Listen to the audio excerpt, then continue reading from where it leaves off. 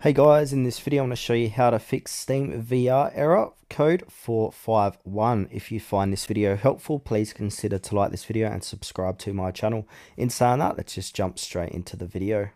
Okay, so there's a few different ways how we can fix this. So fix number one is to restart Steam VR and Steam. So completely close Steam VR and Steam completely. Make sure there are no Steam VR processes are running in Task Manager. So go ahead and go to Task Manager and make sure and look through your processes and sort by name and then yeah close any steam vr anything related to steam vr then from there simply reopen steam and then launch steam vr another fix what we can do is run steam as administrator. So go ahead and right click steam and then click on run as administrator click yes.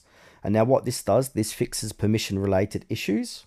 Now if that doesn't work we need to go ahead and reinstall steam vr so search for steam vr and go ahead, right click it, go ahead and click on manage, then uninstall and then reinstall Steam VR.